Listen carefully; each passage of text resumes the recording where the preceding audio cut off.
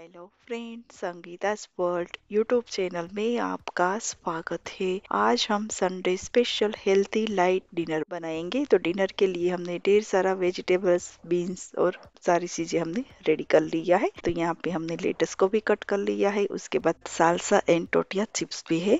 उसके बाद बॉईल किया हुआ बीन्स है। उसके बाद मैंने ढेर सारा प्लेट्स में वेजिटेबल्स कट करके रेडी कर लिया है। उसके बाद कट किया हुआ आवोकाडो। तो डिनर में लाइट और हेल्दी, इस तरह से आप डिनर बना सकते हो। तो चलिए हम प्लेटिंग कर लेते हैं।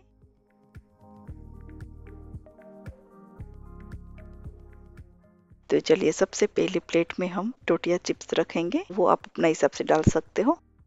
उसके बाद हम बॉईल किया हुआ ब्लैक बीन्स डालेंगे। तो बीन्स में मैंने नमक डाल के बॉईल कर लिया था। तो पिंक बीन्स आता है ना, वो भी ले सकते हो ब्लैक बीन्स भी ले सकते हो। तो बीन्स की मात्रा भी आप अपना हिसाब से डाल सकते हो। और ये डिनर है ना हेल्दी भी है लाइट भी है और जितना चाहे उतना आप खा सकते हो। एक पूरी प्लेट भर के मैं बनाऊँगी ना तो भी इजी से खत्म हो जाएगा।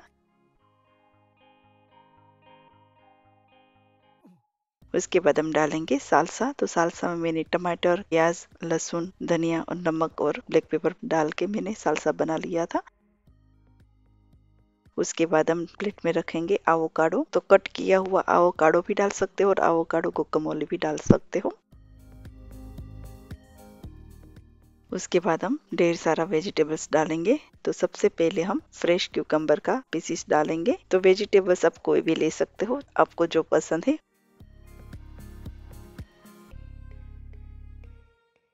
उसके बाद कट किया हुआ रेड कैप्सिकम उसके बाद कट किया हुआ खट्टी वाली क्यूकम्बर क्यूकम्बर भी कलाते हैं ना, वो लिया है। उसके बाद ऑरेंज कैप्सिकम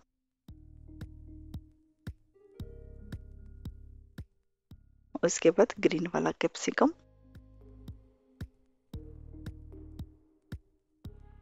उसके बाद हम ऑलिव भी डाल देते हैं।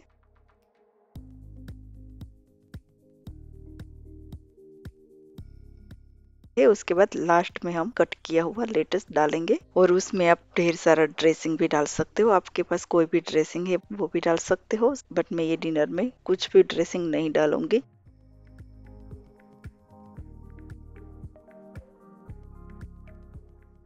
लास्ट में हम ऊपर से डालेंगे मेक्सिकन स्टाइल चीज़